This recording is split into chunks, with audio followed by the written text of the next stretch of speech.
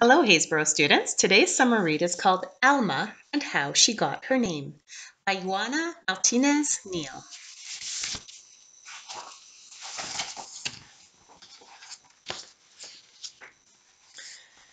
Alma Sofia Esperanza Jose Pura Candela has a long name. Too long, if you asked her.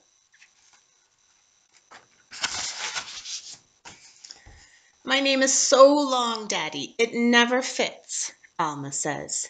Come here, he says. Let me tell you the story of your name. Then you decide if it fits.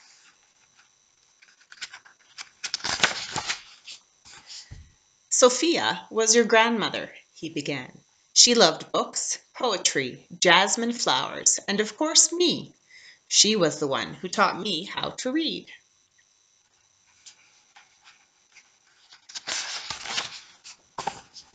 I love books and flowers, and you too, Daddy.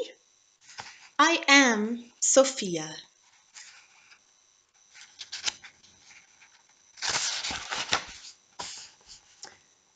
Esperanza, she was your great grandmother, he continued.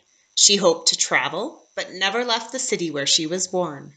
Her only son grew up to cross the seven seas. Wherever her sailor son went, so did Esperanza's heart.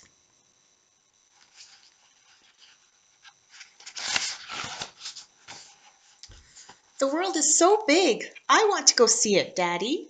You and me together. I am Esperanza.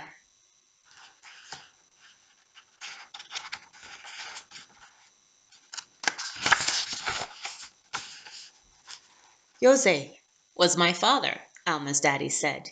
He was an artist with a big family, like many people had back then. Early each morning he walked to the mountains and the plazas to paint everyday life. Sometimes I went along.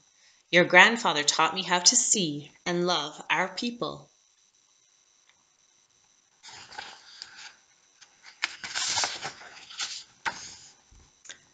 I wake up early every day and I draw a lot too. This morning I drew a kitty cat for you, Daddy. I am Jose.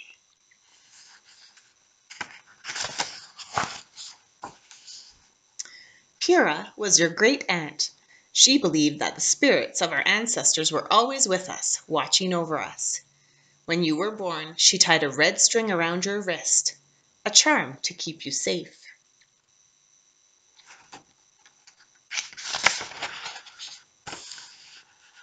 Hello, Pura.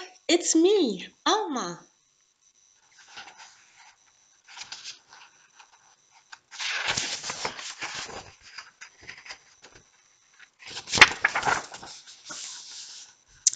Candela was your other grandmother.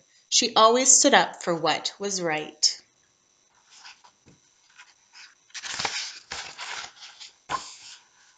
I am Candela.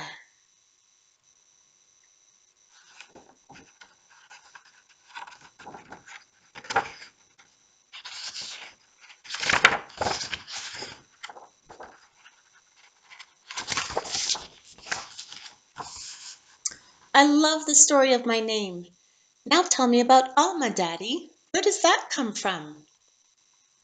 I picked the name Alma just for you. You are the first and the only Alma. You will make your own story.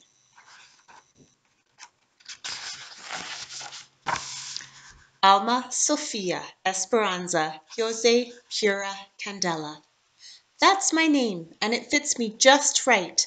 I am Alma, and I have a story to tell.